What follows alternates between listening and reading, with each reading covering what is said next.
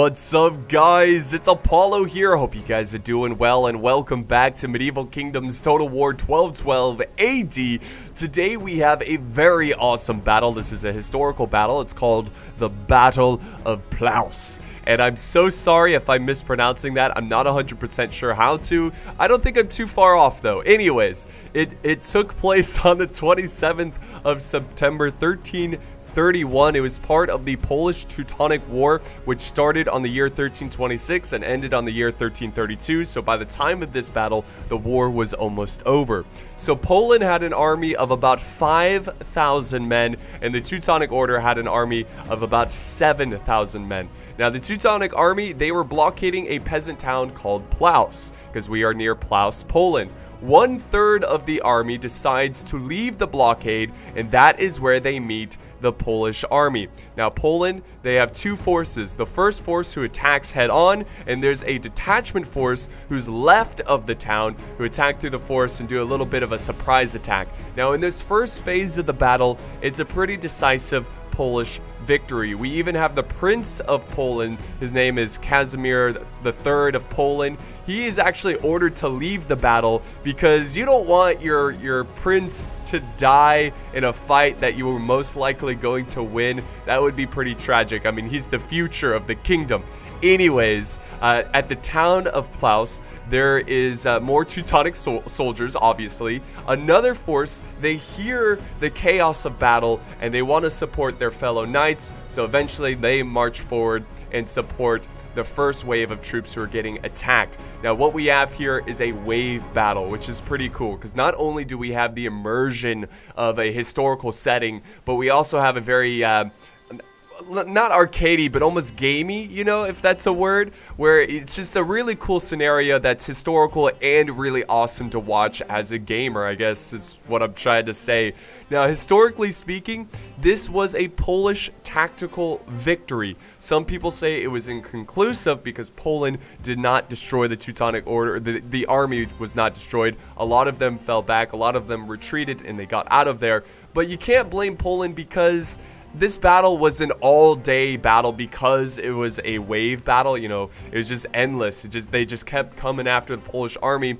Uh, but Poland, they suffered a decent amount of casualties. I think they lost about 1,700 of their 5,000. They're probably tired and they just did not want to pursue because, you know, just take it for what it is. Just enjoy the victory. Now, on the Teutonic side, they lost about 2,600 men. So it's a very crucial victory, I think, in my eyes, a very crucial tactical victory for the Polish army and uh, yeah, that's that's pretty much the historical setting. Now, the cool thing about this fight is that there's actually similar numbers to the historical battle. Now, if we go ahead and look at the army comps and get and get ready for this battle. By the way, let me just show you real quick how this is going to play out. We have the two Polish forces located here. We've got the first uh, one third of the Teutonic force. They're kind of marching, leaving the town, getting ready to get attacked, I guess you could say. And then we have the extra wave of forces who will arrive a little bit later. So pretty cool scenario. I really, really like this one. Now, if we look at the historical numbers, there's about 5,000 Polish. There's actually only about 3,900 in this scenario. So they had about 1,060 less men, historically speaking. And the Teutonic Order, they actually have 1,300 more men than they had. They did this for balancing reasons, but overall, the numbers are very, very similar to the overall numbers from the historical fight, which I think is pretty cool. But let's look at the army comps. The first Polish army, he's got the Great Banner of Krakow, a great, really great heavy shock cav. He's bringing lots of uh, heavy infantry, all high periods, so even the units are correct, you know, type of units, which is really cool. He's got sergeants in the back line, that's the heart of his infantry. He's bringing a lot of heavy crossbowmen, so about four or five units of them. That's going to be absolutely vital in this situation. And then he's got the Polish king, who was present on the battlefield. And then we also have some halberdiers on the flank and some extra cav. He's got some Polish knights on the battlefield. So that's the first Polish army. The second Polish army is actually very similar, uh, bringing crossbows to the battlefield. He also has Pavise uh, spears and he has sergeants ready to go kind of just waiting for the ambush, waiting the perfect time to strike. He's got, I guess this would be the Polish, actually, I'm not sure where the king was and the, where the prince was, but we also have another Polish king, but one of those would actually be the prince. And then here's some Polish knights for Cav, and that's really about it for the Polish armies. We'll now move on to the Teutonic armies, which again are all very similar. So the first Teutonic army, he's got some Ritterbruder, he has uh, spear sergeants, and he also has some sword brothers in the back. So that's really the heart of his army, and that's pretty much it. He also back here has got some Teutonic sergeants, and he has some crossbows. So again, crossbows are going to be a huge, huge help in this fight. They're going to be absolutely vital. Also the cav, keeping your cav alive will be very important. Uh, the battle technically is underway, so we're going to go a little bit faster. Here's the next Teutonic army. Again, very similar army comps of sword brothers, uh, spear sergeants, and uh, crossbows and cav again mixed in with the teutonic sergeants and then over here uh, once again very similar force of cav lots of cav guys i love it great old you know teutonic forces and then some spear sergeants and sword brothers and Teutonic Sergeants and Heavy Crossbows. There you have it, guys. There you have it. Uh, let's go ahead and do normal speed and get this battle underway. All right, so the Teutonic forces, they realize that, uh-oh, here comes Poland. We got to form up, get ready for this attack. I think we had the uh, Great Banner of Krakow kind of scouting up ahead. And now Poland is pushing forward their crossbows. Again, Poland they need to get aggressive here and really take out this force before reinforcements arrive. So it's important for them to be, like I said, aggressive, but you don't want to get too aggressive because you've got to kill two other forces after this one. So you got to be smart about it. Now, I think what they should do is wait just a little bit and wait for the reinforcements from the tree line to arrive who have not march, forward just yet. They're still hanging back, waiting for the perfect moment. But I think now is a good time to get going because by the time you actually get behind this force, uh, the main force will be attacking head on. So there he is, gloriously, gloriously marching forward, the Polish army, just licking their lips, knowing they're going to kill a lot of their most hated enemy, the Teutonic Order. And we also have some cav mobilizing the king, uh, marching with his men. The crossbows are about to get in range. The Teutonic Order order is forming a bit of a a, a, protective formation, which makes sense because obviously the player realizes that there's going to be forces behind him. I don't know if there's any rules that like he can't form up until he realizes that they are behind him. I don't know how that works exactly, but he's got his crossbows behind his spear sergeants, and we are getting a little bit of a skirmish going on. So great fight so far. The Teutonic Order, he has some cav on his wing, his right wing. And he's probably just waiting. He's going to use them defensively against the Polish cav. Again, as the Teutonic Order, you just want to stay alive. You don't not, you, not necessarily like go for critical strikes, which, oh, it looked like he was thinking about it. But he wants to more just be annoying and stay alive. But here we go. Here comes Poland from the, the, the flank, the left side. So he's got some Polish knights who are getting dangerously close to the Teutonic Order. The Teutonic Order was thinking about charging it, but he's not going to pursue. Now they're headed over to the other side. They're getting hit, hit from the flank from uh, some crossbows. And let's see, is Poland going to go for it now? Oh, this is such a bad situation for the Teutonic Order. Oh, wait, he's going to turn and charge. Yes, he's got the Polish Knights, so right where he wants them. I'm pretty sure the Ritterbruder are a little bit better than the Polish Knights, so this could actually be a pretty good fight. But again, remember, they are weakened by, or they were weakened by those crossbows. And then over here, we got the Great Banner of Krakow. It looks like they're going for a charge against the shields, but no, they're not going to go for it. Uh, I, actually, I think they were going for crossbows, but the shields got in the way.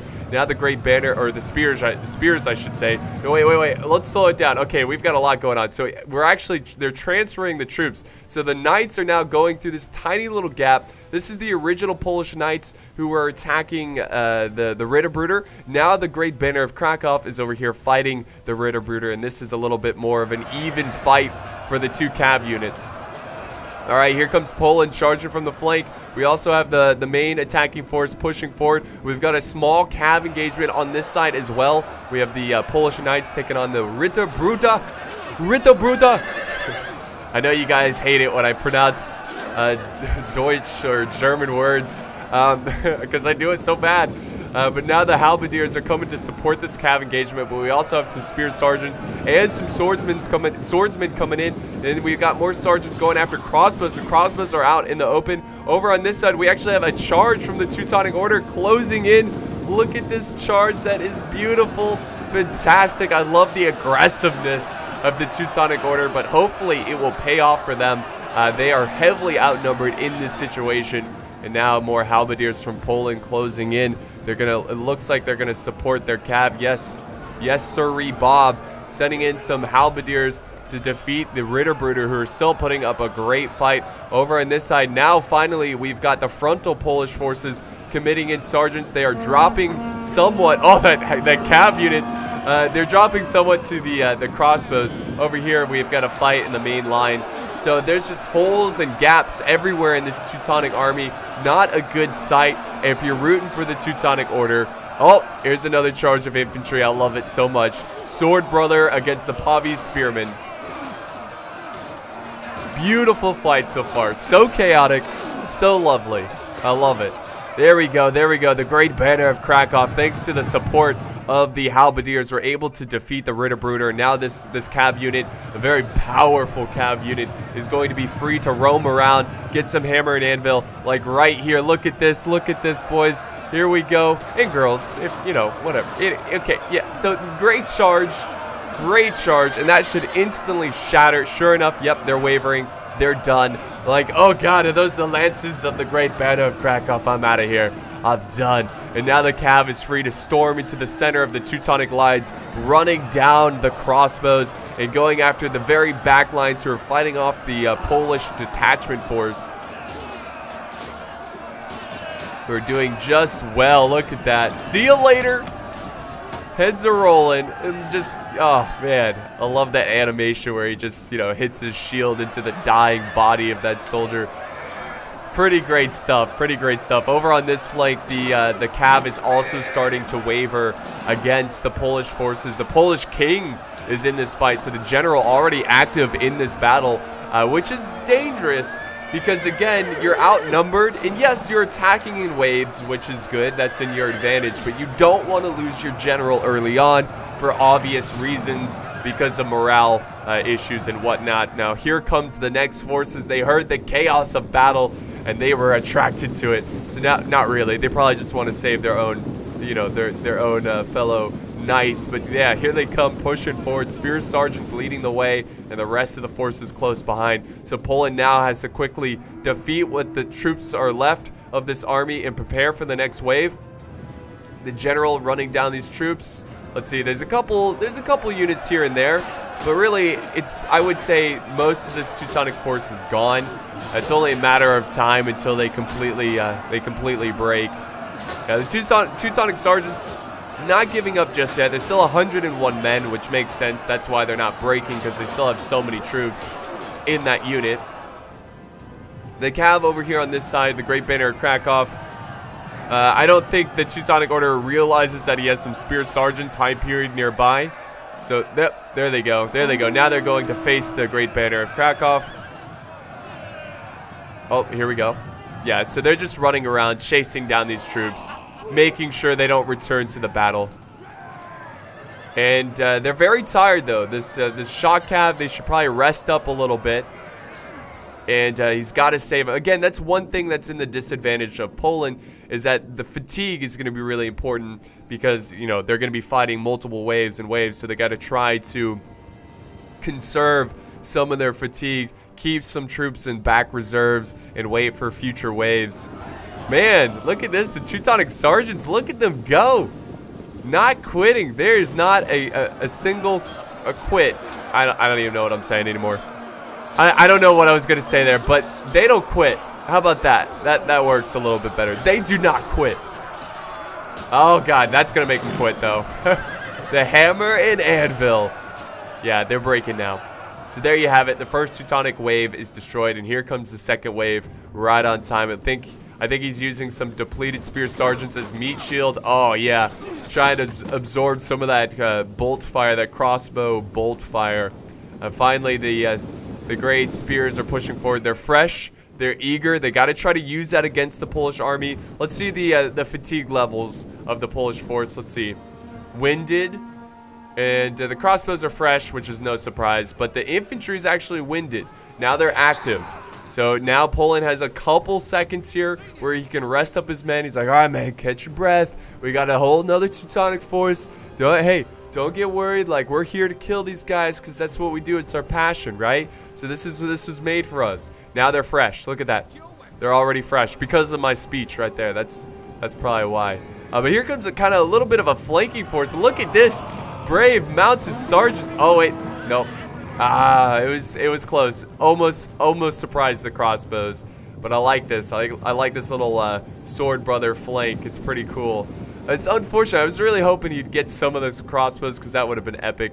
But now he's going to fully commit, so let's get a bird's eye view. In fact, let's get a tactical view. Look at this. The two Polish armies have united as uh, one major force, and they should probably, uh, this army needs to get going pretty quick soon as well, because this is going to be a tough battle for this Teutonic army alone. So here we go, guys. No, keep going. See, the best way to counter crossbows is just getting so close to their forces that, you know, if they fire their crossbows, they risk friendly fire. Oh, look at that. They're dropping. Go, just charge in. Don't, just, he's forming shield wall. He's trying to put up the, the, you know, his defenses. Oh, yeah. Look at that. Look at that beautiful force as they push forward. That is gorgeous. Against the two. Oh, here we go. Poland holds. Brave men of Poland. All right, there we go. More and more forces. He's kind of using his sword brothers as a protective shield for his Teutonic sergeants. More troops going to the front line. Poland holding their ground. We've got some Polish knights in the back lines attacking, but I don't really think they're going to do too much because of how depleted they are. And we've got more uh, spears just kind of hanging back. Crossbows really focusing their fire. It's going to be up to these crossbows to rack up a lot of kills. Also, they need to be trying to focus down the uh, Polish crossbows because, again, crossbows are going to be key to this battle and whoever has the most uh, towards the late game, I think is going to win the fight. Also, Cav is going to be really important. Oh, wait, what's going on back here? Oh, look at this. We got one of the Teutonic... No, no, that's the Polish general fighting the... Oh, okay, no. I thought they were breaking the Polish general, but no, it's the sergeants that are breaking. And now, oh, jeez, they are already... The Sword Brothers. Yeah, the Teutonic Order is definitely a lightweight in this game. Uh, I, I think you just got to bring a lot of great heavy cav when playing as a Teutonic Order because their infantry is just not that great. Not that good. You can see they're already wavering against a unit that's already seen action, you know? Wait, wait, we've got chaos over on this side as well. So a lot of the spears have joined the fight, fighting the halberdiers, the Polish halberdiers. The crossbows are kind of using the tree line. I like that, kind of using that as protection. Here comes the next and final uh, third of the force who are going to be arriving just on time, supporting their Teutonic ally who's committed most of his army into the fight already. And look at the balance of power. Still greatly in favor of the Teutonic Order. But overall, I mean, that's a pretty balanced battle. Like, I think the players did an excellent job of balancing this scenario, which is really hard to balance because of waves. You know, it's tough to determine what's fair and what's not. So it did take them a couple of goes to play this battle. And I just want to, I wanted to make that clear because I really appreciate that. The fact that the people who set up this battle, they care so much to create awesome content that it took them multiple times to get this battle just right, to make it fair and balanced, which is really cool. And it creates great, you know, like edge of edge, edge of the seat, edge. I don't even, I can't even talk right now. You'll be on the edge of your seat. Excitement is what I was trying to say. Dang it, God, words are so damn hard. Uh, but here, there's the general of the Teutonic Order trying to finish off the Great Banner of Krakow, and they eventually they do. So rest in peace, the Great Banner of Krakow. Now the the general is going to be flanking around. Now go. Oh, we got a general v general battle. The Polish king. Wow, that is a gutsy move from Poland. So let's go ahead and do slow motion here uh, so we can get a better view of the fight. Look at that. The bird's eye view is so awesome. So chaotic. So you can see that this Teutonic army is on its last leg. I mean, they've got crossbows. They have some infantry still in the fight, but most of them are wavering or already breaking. The general is in the battle, but they are about to be overwhelmed by spears. But at this point, since his army is pretty much gone, it's not a huge loss if he loses the general. It's not a big deal. Uh, back over here, this army is pretty much untouched. This is going to be the largest concern for the Polish forces. And the balance of power is still in favor. If you look at the man count, there's still a thousand difference between the two armies. So again, uh, much better than before, that's for sure. But Poland is still outnumbered by a ton, and it's uh, starting to become late game. Uh, where units are starting to get tired, they're getting depleted, and uh, taking on a whole nother fresh force is going to be very challenging. So let's just go back and enjoy some close-ups of this final uh, last leg of this Teutonic army. Oh, here comes the crossbow fire. Look at, there's the king. The king of Poland fights with his men. Got to watch out for friendly fire, though. That crossbow fire can uh, do a lot of damage, not only to the enemy, but to your own men. He's surrounded by Teutonic soldiers, but here comes some spears. Rally to the king! Rally to the king! That's awesome.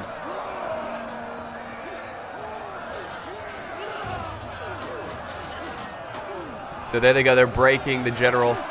Yep, he broke. And the, yes, the king's like, onward! Chase them down. Pretty cool stuff. Back here, oh yeah, there's the, they're just crumbling, crumbling to what's left of Poland. Now Poland's going to be able to focus all of their forces on this main fight. The final section of this force have committed to the battle.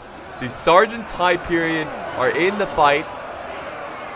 Or, I'm sorry, the Spear Sergeants High Period of the Teutonic Order are in the fight, facing the Sergeants of Poland. And we got a lot of cav flanking around, so let's get a bird's eye view. Look at this. Crossbows in the secondary line, focusing their fire on these crossbows. And look at this, an easy charge. Easy charge for the Teutonic Order. Crushing Poland's back lines. Poland's going to go ahead and throw in uh, the Prince, I assume. So yeah, we've got the other Polish general. He's in the fight, trying to protect his back lines. And this makes sense. I understand now why he needs to use his general or or not that I understand, of course I understand, but it makes sense that he's now using the general than compared to before where it wasn't necessarily needed. Now it's needed because he's got to protect the back lines of his men or he will get, you know, destroyed. Oh god, yep, yep.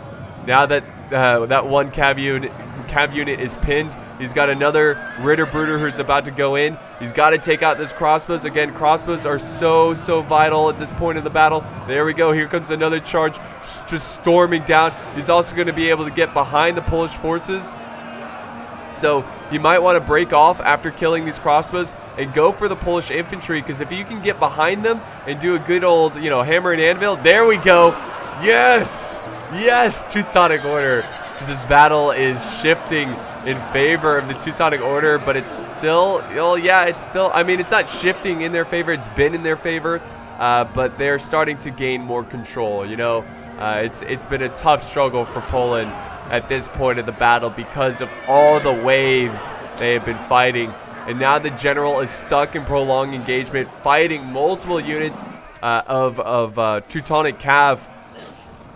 Uh, there is a lot of crossbow support, though, in the back. It's risky to fire at, at, your own general, but it's a risk he's willing he's willing to take. Also, we've got the other Polish general close by, but he's gonna he's not engaging. He's actually disengaging. Okay, so let's slow-mo it. Let's look at uh, what exactly is happening on multiple fronts. So we've got this really important flanking battle. This is going to be really important for Poland. Now, if the Teutonic, or both armies really, if the Teutonic arm, army can, can hold here, then I think they can win the overall battle. Now, if this flank crumbles, the Polish forces will be able to push around and get behind this main line, which is already very flaky as we speak. Uh, but there's still a lot of uh, Teutonic reserves pushing on to the center and to the right flank from the Teutonic point of view. Uh, let's go back to normal speed. Where this battle uh, this is really concerning. Look at all the troops in the back lines. He even has some swordsmen just standing here. The micro must be so intense. He doesn't realize it. He, there we go. There we go. Now they're moving in. Charge, sword brothers. Going after the halberdiers. Oh, come on, Poland. You have fought so well so far. Don't you quit on me. So, I love both of these factions and the history of both of these uh, kingdoms, I guess you could say. Um, so I, I, I, I can't pick who I want to win. I usually start to root for the, the side that looks like they're losing. You know, a bit of an underdog story, you know. I, I just like the underdog. But Poland is victorious on this flank. So now the crossbows of the Teutonic Order, they're out in the open, but do they have any cav? Oh, wait, look at this. Look at this. We've got the Teutonic Order's general deep behind enemy lines. Why is he sending in his general in a situation like this? I am not sure, but they're fighting the Polish general. Might actually be able to kill him. There is some swordsman support, Sergeant's High Period supporting their king against the Teutonic Order. Oh, and the they break. Oh, God. Teutonic Order, why? He was so aggressive. Again, let me do a slow-mo. He was so aggressive with his general. He charged them around the Polish forces while they were still alive, while they were winning their fights. He charged them around. I think he wanted to go after some crossbows, and then that is where the Polish general uh, was able to catch up to him and eventually defeat him. So now the Teutonic Order no longer has generals, but they still have a lot of troops. If you look at the end, oh, they've got, uh, there's a little less than you know, a thousand men advantage. And the Polish forces now can regroup. It's all down to the yellow Polish force. The blue Polish force, they've got one unit left here that's in the center. So this is going to come down to the wire, guys. To the wire. There's five minutes left in the battle replay. So soon we will figure out who will win this historical fight. Oh, here comes another charge from the Teutonic Order. Let's see. Will they get there? Yes, they will. And they will crush, but then be crushed by the crossbows. That was a good charge. Oh, and here comes the general trying to save his own men. So it's coming down to such few troops. And it, like I said, crossbows and cav is going to be the most important element to these armies. Uh, you know, there's only so much infantry can do unsupported. And there's a lot of cross. Look at, oh my god, look at these crossbows. Tons of crossbows. And there we go. The blue army, the blue Pol Polish army, the ally, uh, he has been crushed. Oh, jeez. Crossbow fire. Come on, hold, sergeants, hold. It's going to be really important that the Polish crossbows, they are outnumbered, but they've got to try to get killing. They've got to kill a lot of Teuton a lot of Teutonic so uh, soldiers. God, words are hard.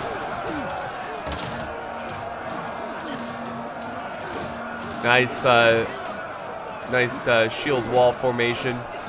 Testudo formation. Fresh sword brothers running around looking for any opportunity. The crossbows are spread out. This is actually really wise from Poland, spreading out their forces and getting multiple angles on the Teutonic infantry. Look at that, just waving. We got wavering from from both sides. This is insane. Oh no, the general has fallen both generals of the of the uh, Polish forces have died, so everyone is generalless. It's all gonna come down to the men. Oh, stand your ground and fire, fire, fire those crossbows. Oh no, he's running, he's running. I guess he's gonna use the crossbows over on the flank to try to support him. Come on, fire, please, please. Uh, spears are still holding. This is gonna be a very important part of the fight. He still has some a over here running down some Prussian archers. Get him. But, I mean, they have so much ammo left. And now we've got some Teutonic sergeants closing in on the, uh, the sergeants of Poland. Trying to contain them, trying to break them, protecting their crossbows. Uh, this is what it's down to, guys. This is what it's down to. One spear unit, which is very healthy. They still have a lot of men in, in that unit. A couple crossbows against... Really? Let's see. One, two, three, four, five units of crossbows. One spear unit and then one Teutonic sergeant. Oh, wait. We've got another crossbow unit. See, hold your ground and fire. Hold your ground and fire. Oh, what are they firing at? Oh, they're going after the crossbows of the Teutonic Order. Well, now they got to fight. Take the swords out. No, they're running. They're going to run for it. Okay, that's not a bad idea. He's going to keep his crossbows alive. He should stop running. He needs to fire at the backs of the Teutonic sergeants as they uh, get to the front lines. Oh, these crossbows over on this side, they need to protect the flanks of the uh, the crossbows or the spearmen who are holding this line. Let's see. Let's see. Oh. He's fleeing. He's running back. No, he's actually going to charge because he realizes that he's not going to win in a prolonged skirmish against all these crossbows. So he's charging in. As long as these spears stay alive, there is hope. Oh, look at this. They're breaking. Oh, they're getting focused down. Yes, they break the Teutonic sergeants. And there's still hope at last. There's hope. All they have to do is crush these crossbows. And there's so many. If they had just one depleted cav unit, they would win this battle. Oh, the crossbows are breaking, guys. They're breaking, but do they have enough ammo? Do they have enough manpower to kill these crossbows? It doesn't, I mean, it's very unlikely that Poland can pull a victory out of this situation, but you never know. You never absolutely know. As Aragorn says all the time, there's always hope. the cringe.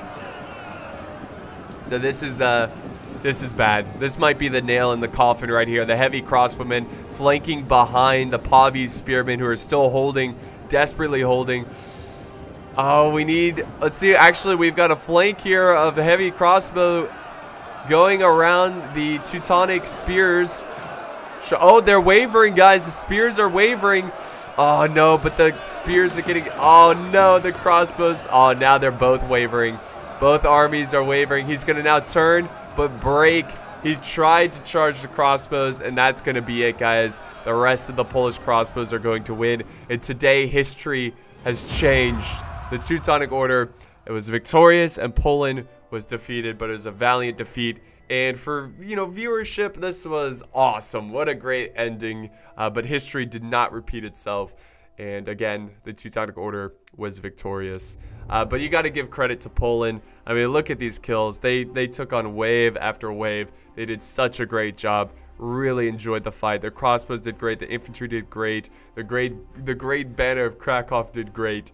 I mean, it is the great banner. They got 574 kills, which is the most, I believe. Yeah, it's it's the most. Surprisingly, there was an infantry unit getting really close to 500. Uh, did I say 5,000? I, I said 500. Anyways, uh, here's his ally, also doing very well uh, with kills. And then here's the kills for the Teutonic Order. Uh, there's actually only two players, but one player was controlling a much larger force. So it's kind of like it was kind of like there was two players. So I want to give a big shout out to Gearhawk who sent it in, and also to all the other players who took part in this battle uh, because they went beyond the Call of Duty. They worked really hard to get this awesome scenario, and I think it turned out great. I really enjoyed this one, and I hope you guys enjoyed it as well. So that's it from me today uh, in Poland and Plowce, Poland. I, I, again, hope you enjoyed this one. Thank you so much for watching, and I'll see you next time.